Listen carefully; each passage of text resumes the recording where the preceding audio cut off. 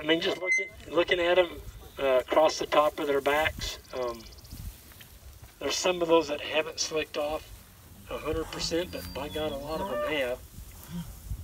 There's some in there that are better than others. Um, I can point out one that I I don't like. Then at the very back.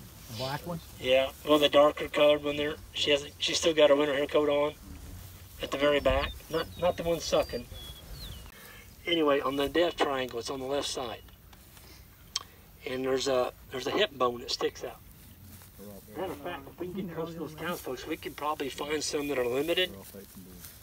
Um, see. See, we're looking at the right side of them as they're grazing that way. You can't look at the right side. It's got to be on the left side. So when you move your cows in the morning and you open the gate up to let them into the new paddock, don't stand on don't stand on the left side.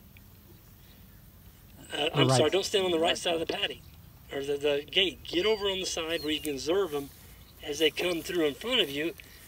And, you know, 20, 30% of them are all sunken in. You should have gave them a bigger area, or in your case, you, you know, Sam's even talking about trying to stretch this out, maybe feeding some hay to buy more time.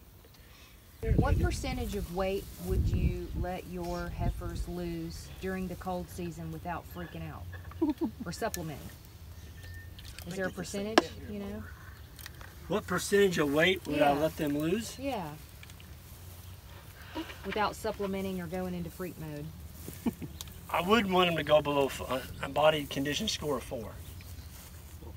They go below four, you, you're starting to count the rib bones, uh, the vertebrae. Hip That's not good. poking out. Yeah, you don't want that. I hate bones sticking out on my cattle. It makes me look like a terrible livestock producer. so don't don't get numb to seeing skinny cattle. It's not normal. Um, you're going to end up with about um, probably uh,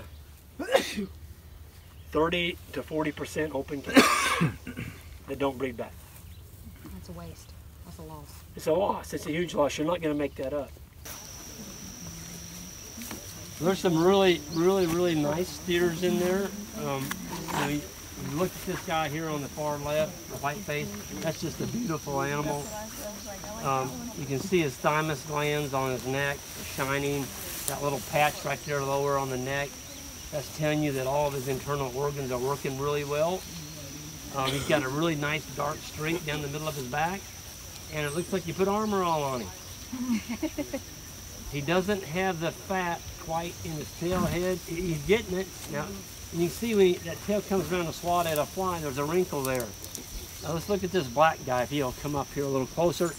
Um, in the, the brisket, in between the front legs, you like to see that brisket filled out nice, okay?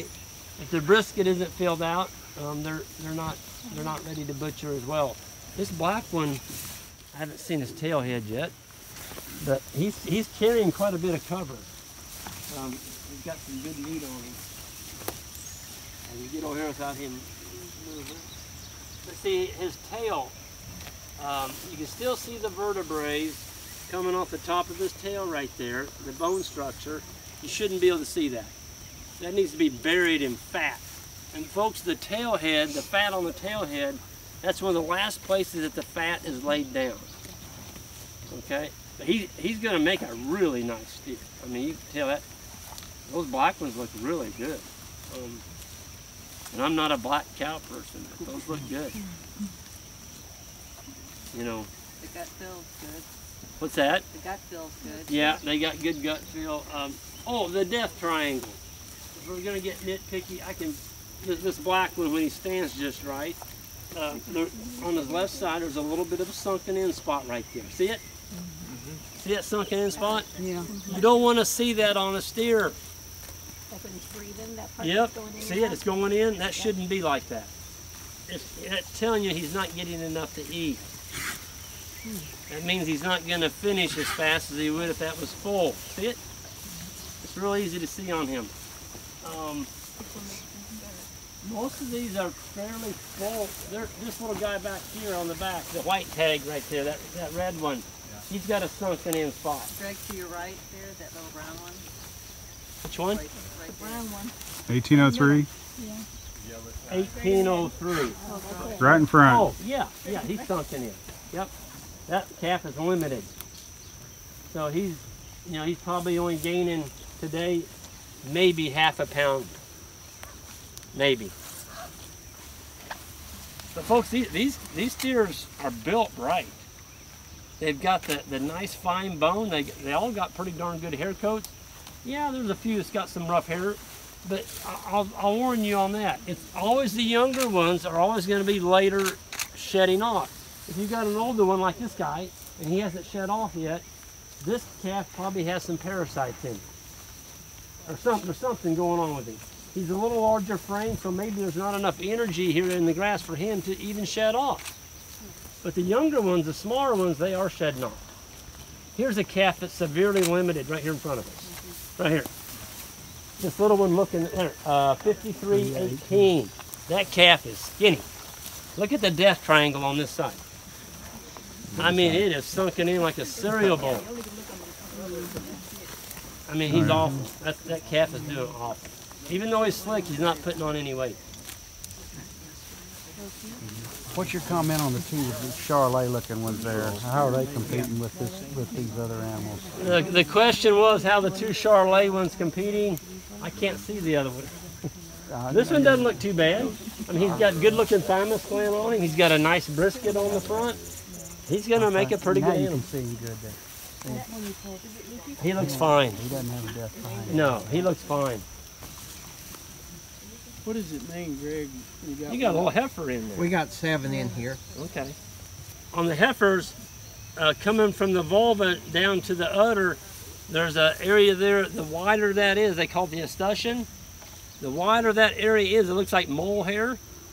The wider that is going down to the udder, the higher butter fat that she's going to have for her calf in her milk. If you got a little narrow escutcheon on a cow, it's not good. Look at the udder on the cow. She's got six teats. That's phenomenal. So you got four that gives milk, and you got the two fakes on the back. That's a good sign. It just shows you that she's a high butter fat. She's got a lot more butter fat. Folks, here's the problem with our cows today. We've got them producing so much milk that the baby calves get full before they ever get to the butter fat. The butter fat's at the very end. So they got to suck that teat completely dry before they get the cream. Well, if a cow's giving a lot of milk, Junior gets full, he's like, I'm done, Mom. He never gets to the milk. He never gets to the cream. A good dairy, a good beef cow should give about 250 pounds of butter fat during, during that full lactation with that calf. And if a calf gets butter fat, folks, those are the herd changers. Those are the guys that fill out in the girls and make excellent replacement animals. Hmm. It's butter fat. It's not fluid milk.